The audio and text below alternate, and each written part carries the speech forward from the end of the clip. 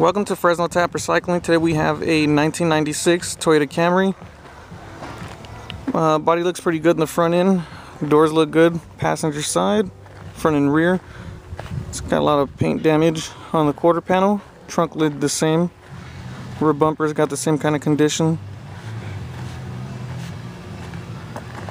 Driver side quarter panel. Looks like it's got a, pad, a bad paint job. Doors are good on this side. Body parts are good on this side.